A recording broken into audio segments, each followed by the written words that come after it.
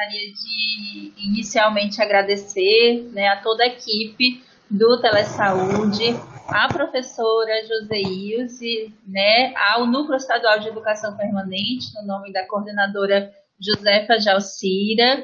É, gostaria de dizer que esse momento é muito importante, sobretudo no mês que nós estamos, que é o mês de maio, que é o mês oficial em que nós comemoramos a Semana da Enfermagem, né? E esse tema, ele traz é, o objeto de trabalho, né? a ferramenta de trabalho, a ferramenta de organização do nosso trabalho, do trabalho dos profissionais de enfermagem, e trazer Joseilze nesse momento é essencial, que ela é referência no nosso estado quando a gente fala de sistematização da assistência em enfermagem. Então, sejam todos muito bem-vindos, tenho certeza que teremos uma manhã bastante proveitosa e vamos aproveitar. Professora, bom dia. Bom dia, Milena, bom dia a todos presentes. É, agradeço também a toda a equipe da Telesaúde, né? É, em nome da nossa amiga enfermeira Jalcira, que foi quem fez o primeiro contato comigo, fazendo o convite para vir conversar, né? Na verdade, com vocês, a respeito de como organizar o serviço de saúde, né? Como sistematizar. Então, para mim é uma satisfação estar aqui com vocês e, na verdade, numa, é uma conversa e vocês podem se colocando à medida do que eu for falando, né? Bom seria se a gente tivesse presencial, mas infelizmente ainda não está no momento. Mas de qualquer forma a gente já está até aprendendo, né? A se comunicar também remotamente. É, fiquei muito feliz quando vi que a mediadora seria a enfermeira Milena, que foi minha aluna, muito querida, e entende muito do assunto, né? Ela falou que eu sou referência, não, eu só sou a que comecei, talvez, pioneira, mas já tem muitas sementinhas plantadas, dentre elas Milena. Milena já germinou, na verdade, né? Não é mais semente.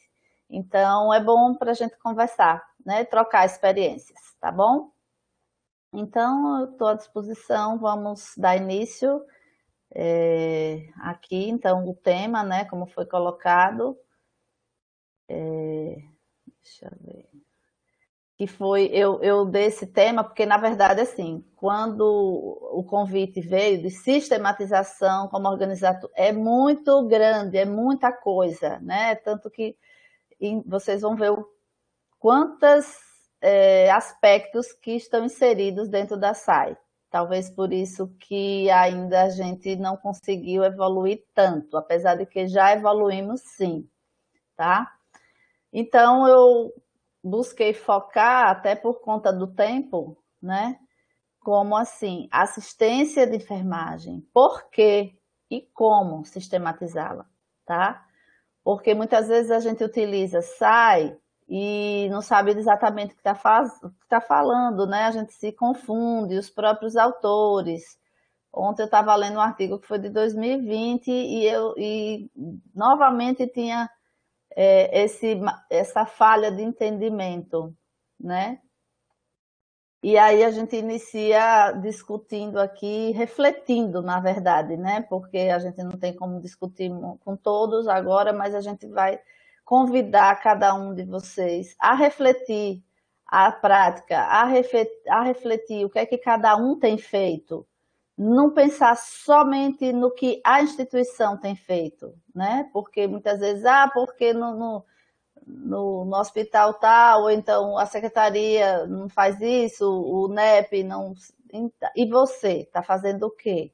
Né? Porque nós somos instituição. Eu sou UFES, então, quando eu falo da UFES, ah, não é a UFES que está fazendo, a UFES sou eu. Então, eu preciso me inserir nesse contexto, né?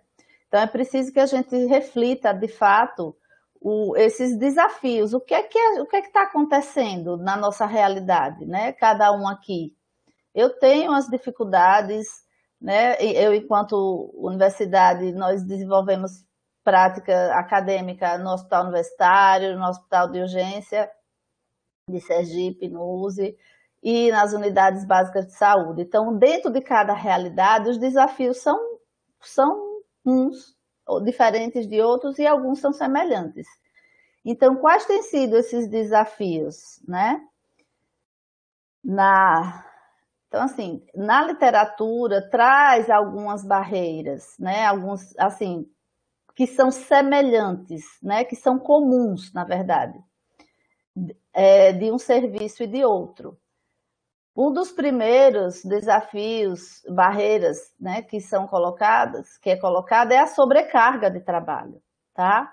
Mas essa sobrecarga, claro, a gente sabe que enfermeiro e a equipe de enfermagem, além da carga horária semanal, trabalha muito. Mas por trás dessa questão da sobrecarga existe a, a necessidade de reorganizar o processo de trabalho, né? Porque muitas vezes é, você está sobrecarregado porque o seu processo de trabalho não está bem organizado, tá? A gente acaba assumindo é, atividades que não são do, da nossa é, responsabilidade, tá? E acabamos, às vezes, delegando outras que são nossas e passamos para para outros profissionais que muitas vezes não têm a qualificação que, te, que você tem, então, assim, isso vai gerando realmente essa sobrecarga, né?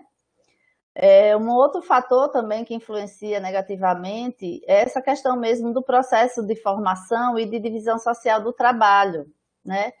Mas isso a gente não tem como modificar, porque é a, a, a é a característica da enfermagem, né? Essa divisão do enfermeiro, o técnico de enfermagem, em alguns setores ainda, alguns serviços ainda o auxiliar.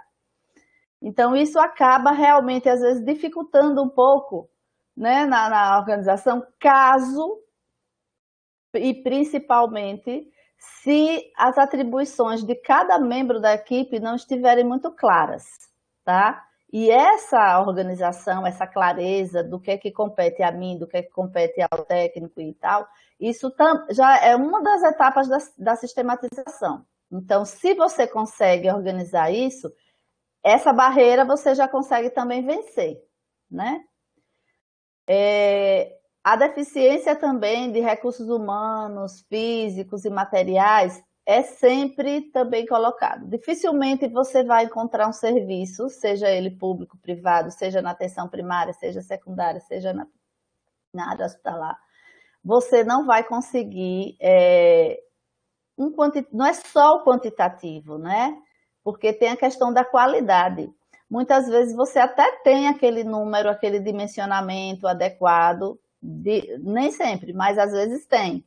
Só que por conta desses, dessa falta de organização do que é que é meu, o que é que é do colega, o que é que é do gerente, o que é que é do enfermeiro assistencial, é, acaba que a gente tem esse, também essa deficiência, né? Desvios também de função, né? Enfim, então organização e, e, identificação dos recursos que tem disponíveis também é, é primordial. É, um fator que muito entristece realmente é essa questão do desinteresse e subvalorização por parte dos nossos colegas enfermeiros e também de técnicos em relação a valorizar as prescrições de enfermagem ao processo como um todo, né? no caso dos técnicos, mais as prescrições de enfermagem. Valorizar mais a prescrição médica, até porque na formação deles, eles não veem, é uma lacuna que a gente precisa urgentemente tratar, é a formação técnica, né? É, como vocês viram, eu faço parte do, do, sou líder do grupo de estudos, GEMAI, grupos de estudo em metodologias assistenciais, e nós passamos dois, três anos, eu acho, fazendo uma, uma atividade de extensão que foi de capacitação dos técnicos né, do hospital universitário em relação a processo, a prescrição. E aí nós identificamos essa necessidade, fizemos até um trabalho, né, para identificar que na formação do técnico ele não tem, não, não vê processo, não sabe o que é uma prescrição de, de cuidados de enfermagem. Isso é, assim, uma necessidade urgente, tá? Já existe algumas frentes trabalhando a respeito, já existem algumas dissertações, mestrado, até tese, doutorado, que estão trabalhando com a questão da, das diretrizes, né, e tal, para poder mudar. Mas primeiro precisa mudar a gente, porque somos os enfermeiros que vamos ensinar né, nos cursos, somos nós que coordenamos os cursos, somos nós que fazemos os projetos pedagógicos dos cursos. Então, se não dá para chegar agora assim e entrar e, e, começar a fazer, a querer mudar logo a formação do técnico, se a nossa ainda está com esse problema. Então, é, veja que o, o, o o fator aí que está do lado, o desconhecimento do processo, muitas vezes pela não abordagem do tema da formação, está casando com o desinteresse. Será que será que esse desinteresse, essa subvalorização tem uma relação direta com a formação ou é o contrário, né? É, apesar de que hoje eu falando pela pelo curso de enfermagem da UFES, né?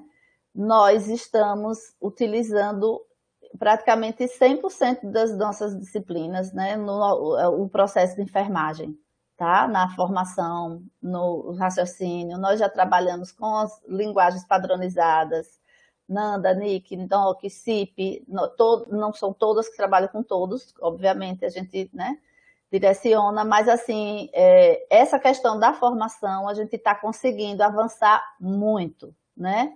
De algum tempo para cá a gente já conseguiu sim, isso aí eu tenho certeza. E você vê que os nossos é, egressos, eles têm essa formação. Porém, ainda tem sim, mesmo tanto profissionais quanto alunos que não valorizam, né? Que muitas vezes é, até desconhece, né? Até desconhece a questão do processo e da SAI, né? Mas, mas é, eu acredito que o maior problema hoje, tá? A maior barreira hoje, e aí eu trago essa proposta aqui de reflexão, é com relação à confusão que se faz com as terminologias, a confusão que se faz com é, o que é que eu tenho que fazer, onde, né? Eu não vou implantar SAI, eu vou implementar SAI. É, é, é, na verdade, você vai organizar, você vai sistematizar a assistência. E aí a gente vai trabalhar hoje nessas duas, nesses dois aspectos, né? Da organização como um todo, a organização do serviço, a SAI, e, e o processo. Aí eu trouxe algumas é, muitas pessoas ainda trabalham, né? Fala como se fosse a mesma coisa, e a gente sabe que não é. é eu trago aqui uma definição de Teresa Leopardi, que é uma teórica né, estudiosa das teorias de enfermagem, que ela diz que a SAI prevê a definição da natureza do trabalho a ser realizado e também a definição do processo de enfermagem. Aí ela vai desde a base teórico-filosófica, até o tipo do profissional, os métodos, os objetivos, os recursos para poder produzir o cuidado. Então, eu nem trouxe aquela definição que traz na que está pautada na resolução do COFEM, do COFEM porque na verdade é, é, é o que Teresa Leopardi está falando mesmo, né? Você tem que ter, abranger para sistematizar assistência, é, qual é a fundamentação tá, da assistência? Todo o processo, o, o, nosso processo de trabalho, gente, é o quê? O processo de cuidar, né? Todo o processo de trabalho, ele tem que ser pautado em alguma referen uma referência. Você for perguntar a um engenheiro para levantar uma parede, ele vai usar um, uma referência para poder fazer o cálculo estrutural para aquela parede não cair.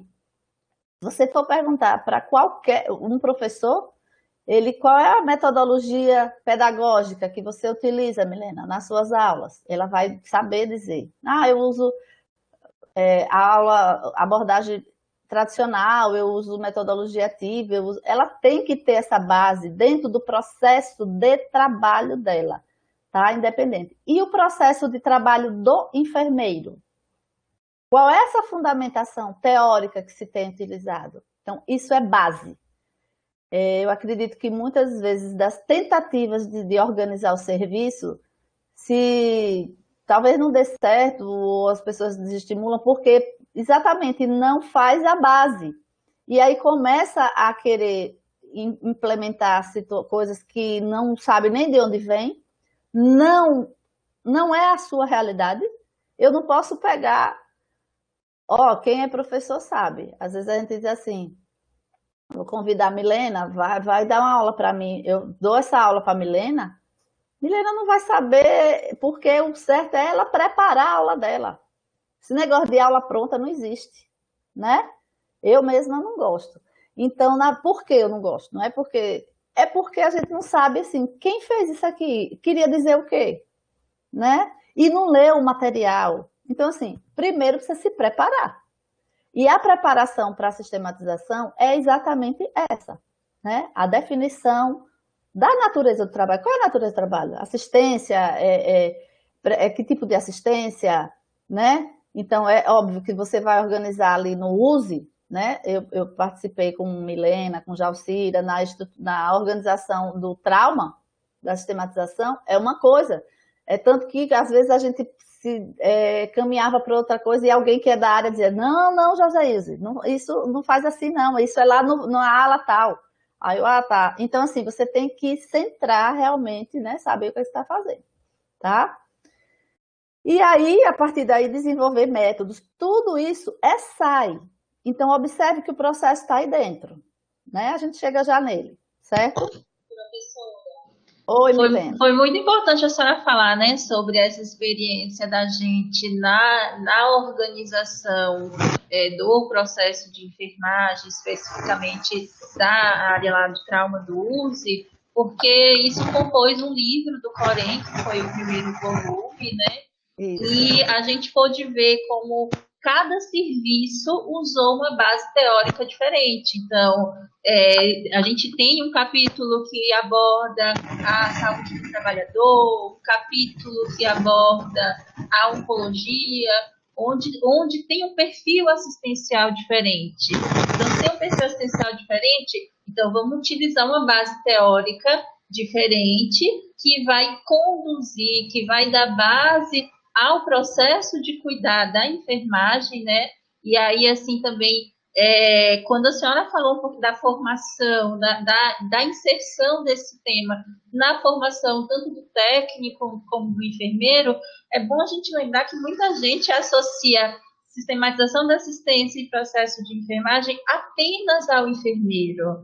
A gente sabe que o enfermeiro ele é o responsável por elaborar o processo de enfermagem, é o enfermeiro quem prescreve, mas ele, ele faz prescrições que algumas ele vai executar, porque são privativas do enfermeiro, e outras são prescrições para os técnicos executarem. Então, é muito importante a gente ter como base isso é, para conduzir o trabalho, né, tanto do enfermeiro como do técnico de enfermagem. Perfeitamente, Milena, exatamente isso. É, é por isso que a gente, eu estou trazendo, antes de responder né, as duas perguntas que a gente fez, de porquê e como, é, é, preciso a gente balizar esse entendimento, porque senão mais tarde, quando eu começar a falar alguma coisa, a gente vai confundir e às vezes realmente é importante esse balizamento. Ainda com relação aos conceitos, é um conceito menos utilizado, mas também se vocês podem se deparar, que é a MAI, que é a Metodologia Assistencial de Enfermagem. Né? Assim como toda metodologia, é o método, é o caminho, é como vai ser conduzido, tá? E também, assim como o processo de enfermagem, a, a MAI também é um elemento da SAI, tá? Então, dentro da, da sistematização, eu tenho a, a, escolha, né, do que é, seria aí, na verdade, a integração da teoria com a prática tá? E, e assim também como o processo, certo?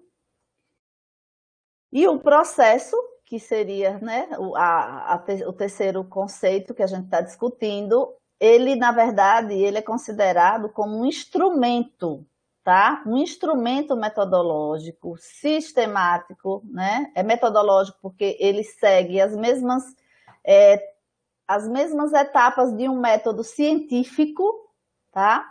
Se você vai avaliar as etapas do processo, você vê que é a mesma, são as mesmas de um método científico, né?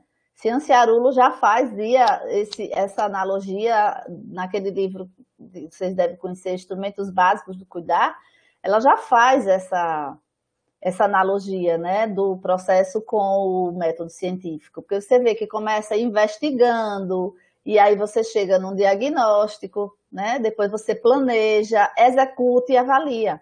Então, no método é a mesma coisa, por isso que o processo é metodológico, né? E ele é sistemático também por, por é, utilizar exatamente essas etapas.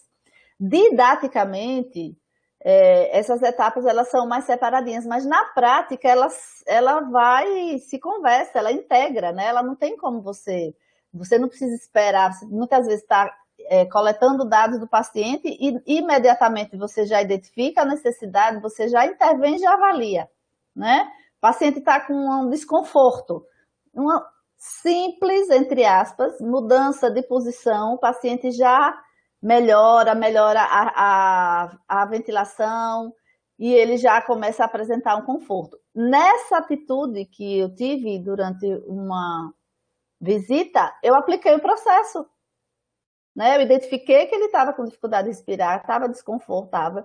É, levantei uma hipótese diagnóstica que poderia ser relacionado à posição que ele estava. Alterei a, a, posição, mudei o decúbito e ele melhorou.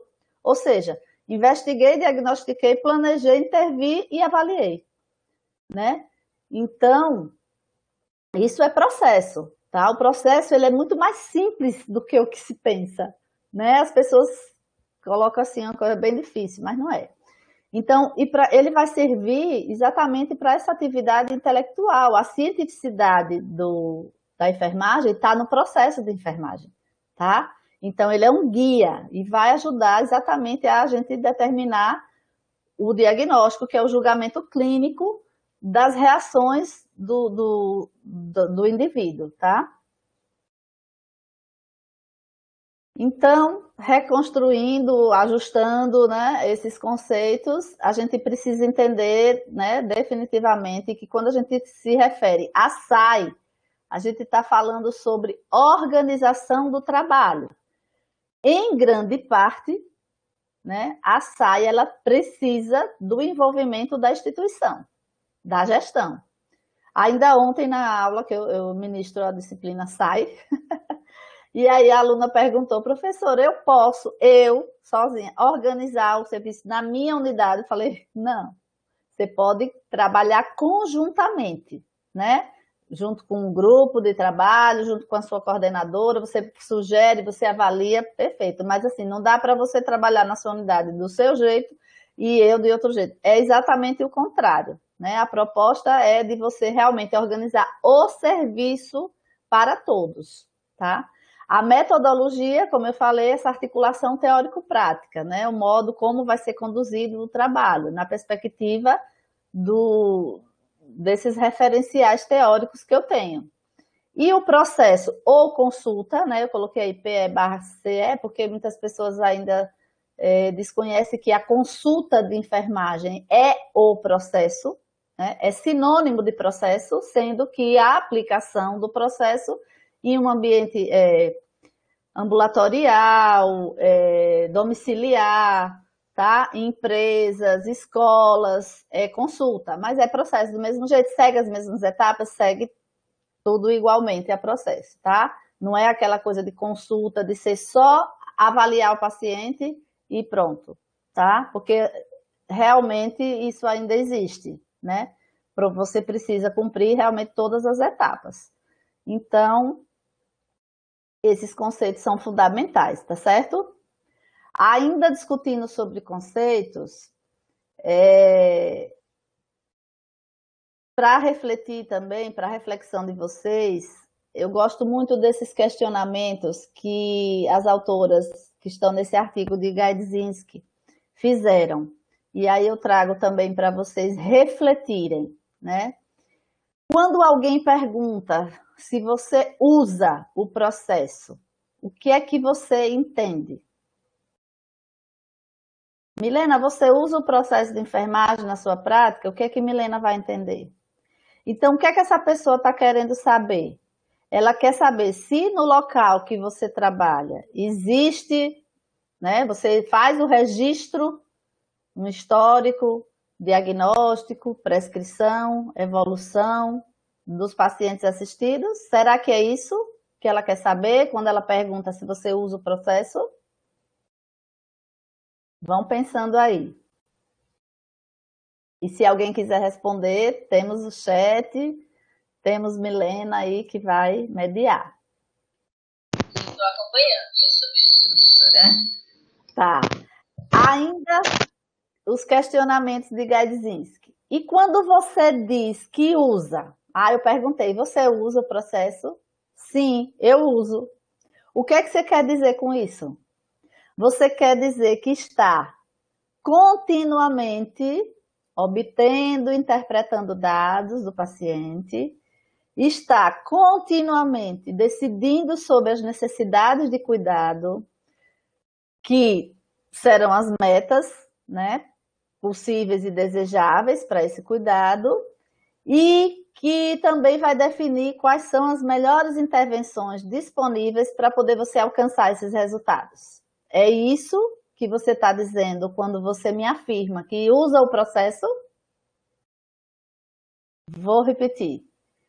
Quando você diz que está utilizando o processo, você está me dizendo que você está continuamente, olha palavrinha, viu, chave? Continuamente. Por que, por que eu digo que é palavra-chave? Porque ainda alguns enfermeiros, alguns serviços entendem o processo como simplesmente preencher um roteiro de coleta de dados na admissão e ponto final. Isso não é processo, né?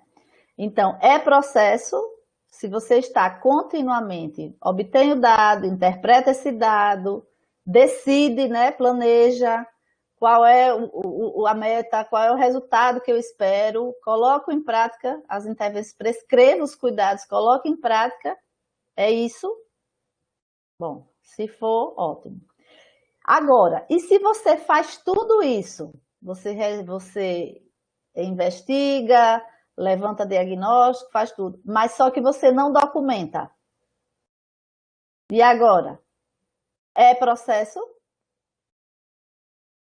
E a que processo se faz referência quando se admite, né, alguns serviços e alguns profissionais, se admite que enfermeiros experientes não precisam de processo de enfermagem? Que eles já sabem ali, já trabalhou esse tempo todo e não sabe o que é processo. Então, quando a gente fala aí, né, se você faz tudo isso e não documenta, mesmo assim, é processo ou não? É processo é processo, só que não está documentado. A questão da documentação do processo é uma questão legal, mas muitas pessoas pensam isso aqui, ó. Eu adoro essa figura. Porque quando a gente fala, ó, as pessoas chegam, ela está fazendo processo de enfermagem, porque atribui ao processo isso aí excesso de burocracia, muito papel, tempo perdido, e, né? Infelizmente, ainda tem gente que pensa que é isso, tá? Mas, na verdade, aí eu trago uma definição de 89, né? Isso mesmo, Lígia. Muitos fazem, mas não têm o hábito de documentar. E aí entra a questão legal. Que bom, Lígia, está aí participando. É, então, vamos lá. O que é que Bess fala? Que o processo ele é a aplicação sistemática do conhecimento a situações específicas. Veja que ela não falou nem em documentação. Né? Não falou em utilização de roteiros, utilização de materiais. Então, é quando você aplica o conhecimento. É Cognição é você precisa realmente ter esse entendimento, é raciocínio clínico, é tomada de decisão. O processo é isso, tá? É você investigar, raciocinar clinicamente e tomar decisões clínicas, né? E uma outra chamada que eu achei assim bem importante de estar trazendo para vocês é a respeito dessa definição de Santana e Carvalho, que elas dizem que o processo é o paradigma científico sem outra alternativa até o momento atual, para que a enfermagem lance mão para ser reconhecida e consolidada como ciência. Lembram que eu falei há alguns minutinhos atrás? Falei da analogia do processo com o método científico, que é o processo que traz cientificidade, né, visibilidade, autonomia para a nossa categoria, para o profissional enfermeiro? Então, nessa definição diz exatamente isso, tá? Não tem outra alternativa senão um processo de enfermagem para o reconhecimento e a consolidação da enfermagem quanto ciência. Por quê? Mas eu sou tão estudiosa, eu, eu, eu utilizo tantos conhecimentos a respeito, mas assim, a gente está falando de enfermagem. Eu não estou falando de biologia, de outras grandes áreas importantíssimas e que a gente precisa sim estar respaldado nas, nas, na ciência da biologia, da antropologia, da psicologia. É por isso que a gente faz estuda toda essa base. E o nome já diz, é base. Né? É um tronco. Você precisa ter esse entendimento para quando chegar na ciência e enfermagem, que chega um pouquinho mais para frente, você tenha condições de saber integrar esses conhecimentos. Mas a gente precisa sair daqui hoje com este entendimento do que é o processo, para poder, de fato, eu saber organizar o meu serviço e valorizar o meu trabalho. Porque quando eu digo assim que eu tô, é, é, desvalorizo o processo, tá, eu estou desvalorizando o meu trabalho. Eu estou dizendo que o meu trabalho não tem valor científico. Tá? Se eu me recuso a utilizar, a, a, a fundamentar a minha prática, se eu me recuso a utilizar sistemas de linguagens que são validados internacionalmente, eu estou negando que a minha profissão é, seja reconhecida cientificamente.